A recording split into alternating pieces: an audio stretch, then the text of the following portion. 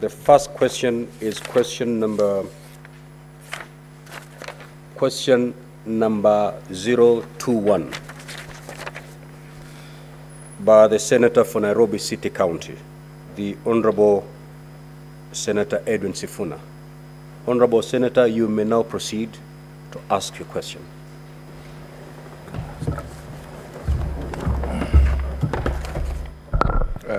Morning, uh, Honorable Speaker. Perhaps just some guidance uh, on how we treat witnesses before they take the stand. Is that not uh, necessary this morning? Pardon? Is it not necessary to treat the witness uh, properly uh, before they start answering questions? By treating the witnesses, what, what do you mean, uh, Senator? S? not, not T, so subjecting them to uh, Article 125, Honorable Speaker. But it's, it's, it's, it's up to you.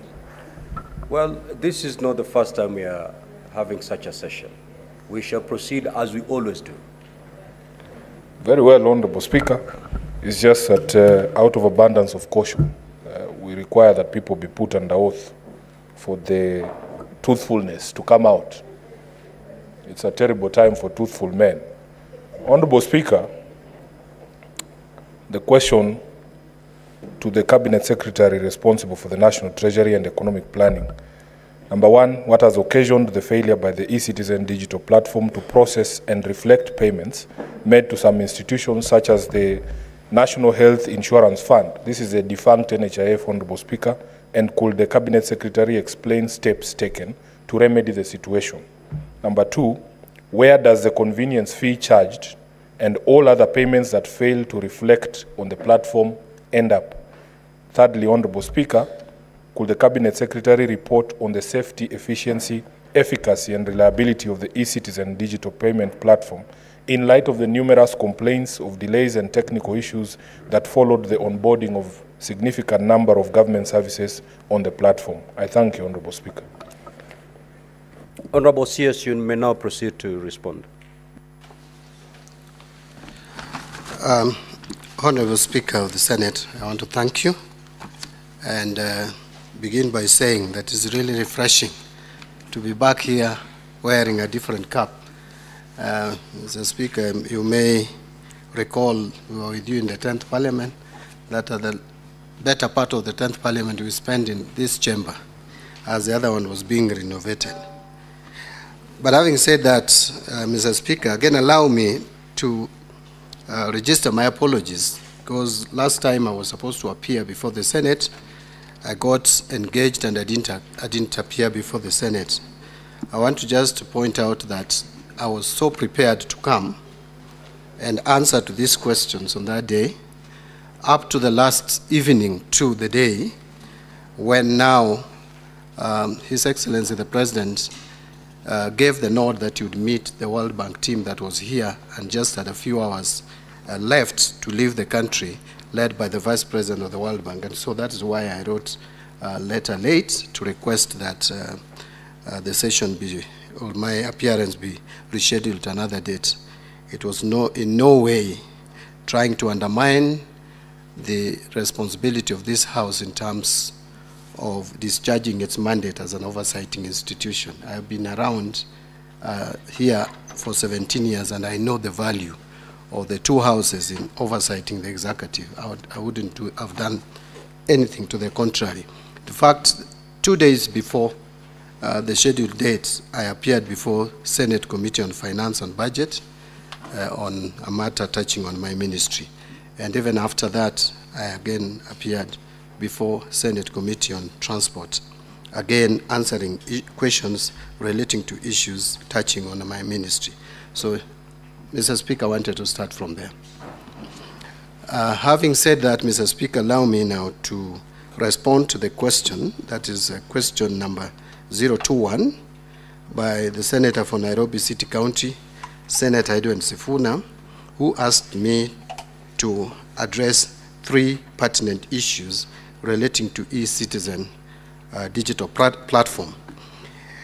Uh, and, and also I will answer the other questions, but it is question 021 that I'm responding to. The senator wanted to know what occasioned the failure by the e-citizen digital platform to process and reflect payments made to some institutions such as the National Health Insurance Fund, NHIF, and could the Cabinet Secretary also explain steps taken to remedy the situation. And uh, this is my response, Honorable Speaker. Honorable Speaker, payments to e-citizen platform are made in designated and defined formats. This format is defined in the system, and for any payment to succeed, it needs to follow the format expected by the system. For instance, if an, HN an NHIF member is paying for the monthly contribution and the national ID number is, for example, 11223344, this is just an example of what could be an ID number, then the payment format to be keyed into the system will be NHIF M 11223344. Any payment which does not conform to this format will definitely be unsuccessful. Therefore, it is important for any person making any payment to follow the prescribed format so that the payment is successful on the platform. As part of the adoption, we always insist that any MDA on the e-citizen platform should train and sensitize its members or customers on the procedure of making payments on e-citizen platform. The National Treasury is working with ministries, departments, and agencies to create awareness, literacy on use of digital services, and sensitize the public on the use and adoption of the e-citizen digital platform. This is an ongoing exercise where periodic trainings and sensitization programs are being conducted. On question number two, where the senator for Nairobi City County wanted to know, and actually, this is the question, where does the convenience fee charged and all other payments that fail to reflect on the platform end up? And this is my response, Honorable Speaker. The e-citizen platform only collects convenience fee for successful transactions. When a user or citizen makes a payment, the payment will, uh, will be collected first by the payment service providers, uh, providers channels, which include mobile money for mobile network operators, RTGS, and e-deposits for banks or wallets for non-bank um, payment service providers. So the e-money is then channeled to e-citizen collection account at Kenya Commercial Bank. If a payment fails, then transaction details and monies, that is payment amount and convenience fees, are retained by, uh, by, the, by payment service provider, which reverses the transaction and e-citizen platform would be notified. The convenience fee is collected by the e-citizen platform and remitted to the e-citizen settlement account domiciled at the National Treasury. So that is the response in terms of where the convenience fee would uh, fall if the, if um, the platform fails.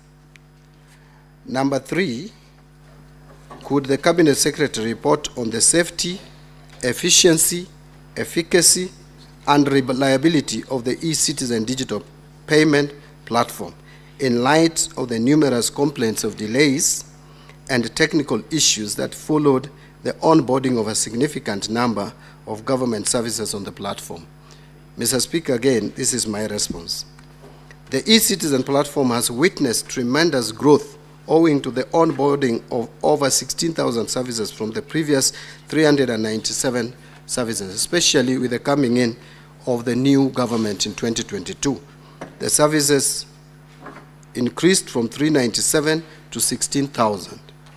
The rapid growth came with a lot of challenges to the platform, which the multi-ministerial team has been able to address. The multi-ministerial team comprises of the National Treasury, Ministry of Interior, and Ministry of ICT and Digital Economy.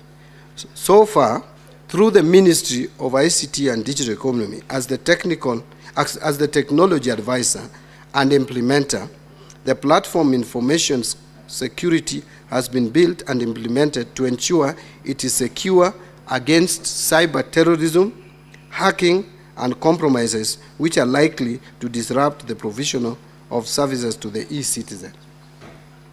The e-citizen platform has withstood several cyber attempts made by hackers, with efforts arising from continuous platform vulnerability risk assessment. The multi-ministerial team has Security Operations Center, SOC, which continuously monitors status of systems and applications and ensures any attack is responded to immediately. There were some challenges encountered during the rapid onboarding of the services. However, the e-citizen has been able to address significant portions of those challenges to stabilize the platform. Currently, the platform is very robust and has immensely improved service delivery to citizens, processing approximately 120,000 transactions daily. And Mr. Speaker, I wanted just to add that if you look at even in terms of robustness, the growth, the 2022-2023 financial year, we were able to collect only 26 million, um, 26 billion, 406 million through this platform. The following financial year, when we moved full blast to e-citizen, 2023-24, we are able to collect 100 billion, 842 million. So in one year, the collections improved from 26 billion to 100 billion. We have managed to reduce leakages in the system, having single pay bill of triple two, triple two has worked very well, and visibility of our transactions has been enhanced. Thank you, Mr. Speaker. I submit. Honorable Senator from Nairobi City County, you may now proceed to ask your two supplementary questions.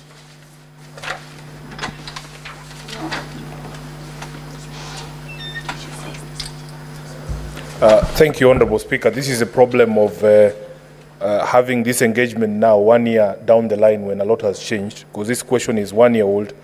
So I would want the Cabinet Secretary to tell this House, now that uh, we have moved from uh, NHIF to uh, SHIF and the Social Health Authority, uh,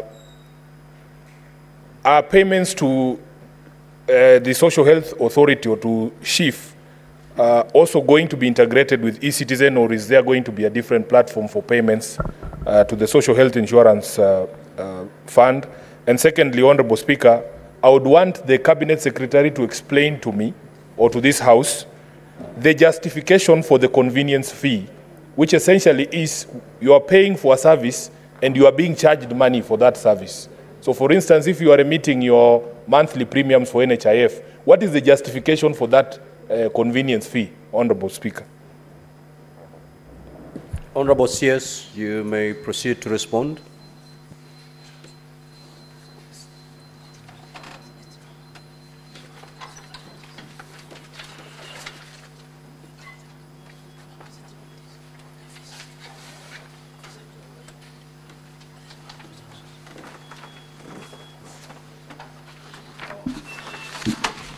Uh, thank you, Mr. Speaker. Mr. Speaker, the policy of the government presently is that any service that is provided should go through this standard system, e-citizen. Actually, there was a reason, a justification why we went e-citizen, because the public was complaining a lot about how um, it was inconvenient to use different platforms to collect. So even the new uh, social health authority must now use uh, the, the e-citizen platform. On the issue of the justification for convenience fee, I want to say that this is a fee that is paid to the service provided uh, to, so that we don't again end up with uh, complicated accounting where the money that is meant for the actual service is the one that is now again being prorated and paying the service provider. But again, I want to also point out that unlike previously, when there was a standard amount uh, for uh, just uh, the, the convenience fee, right now, we, the, through a gazette notice of December 22nd, 2023, we have prorated, uh, so to speak, so that if the service is costing more, then the convenience fee also rises. If it is low, then the convenience fee is low. Like, for example, from 200 shillings, anything below 199 shillings, you only pay 5 shillings. Uh, anything, and it is, uh, the, the figures are provided there, I don't want to go into the, anything above 1,000, then you pay 50 shillings. So the 50 shillings is the highest, which used to be the standard fee previously before this Gazette notice. And then the dollar denominated account is one US dollar as the highest. So that, in short, would be uh, the justification for the convenience fee. Uh, but again, this is an interministerial discussion that, uh, that gave rise to this um, convenience fee chargeable. It was not a decision of my ministry as such, but it is a government decision. Thank you. Uh, Honorable CS, if I heard uh, Senator Sifuna correctly, uh, it is not about the amount that is being charged. It is why is it being charged?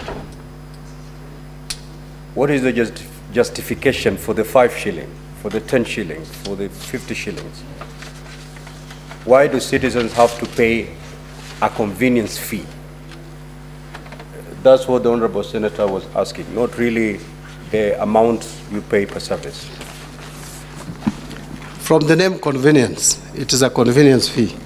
Mr. Speaker, when you use the e-citizen platform payment system, it is convenient.